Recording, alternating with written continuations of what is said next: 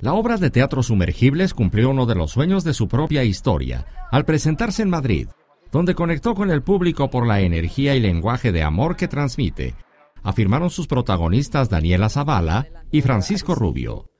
En entrevista con Notimex, los actores destacaron que se trata de un proyecto de más de cuatro años, iniciado en México, que ha recorrido diferentes escenarios en México, Berlín y ahora en España, donde realiza una temporada de siete funciones en tres ciudades.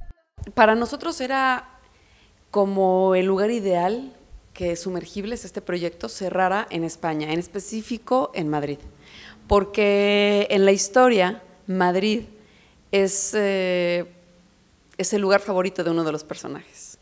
Entonces, desde que comenzamos con este proyecto, pensamos que sería increíble poder traer este proyecto a España. Y pensábamos, bueno, vamos a ver cómo lo reciben los españoles. Y nos hemos llevado una gratísima sorpresa de ver que las fronteras son, o sea, no existen en, en este lenguaje, porque estamos hablando a un nivel universal del amor. Eso. Es lindo. Sí, muy lindo, pero no lo voy a conseguir si no soy oro. Te lo estás tomando demasiado en serio. ¿Sabes que hay gente que dedica su vida a vender maletas porque eso es lo que quieren hacer y La no? obra, escrita por Zavala, cuenta la historia de una curadora de arte y un escritor dedicado a vender maletas en lo que publica su primer libro.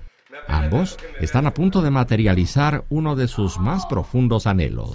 Es un proyecto que ha surgido por la necesidad de hablar y de crear tus propios proyectos como artista, ¿no? que es tan importante. Pero la obra nos sigue sorprendiendo y nos sigue no solamente por las fronteras que hemos eh, rebasado, sino porque la obra en sí misma tiene todavía mucho que decirnos, porque es una obra que se siente fresca.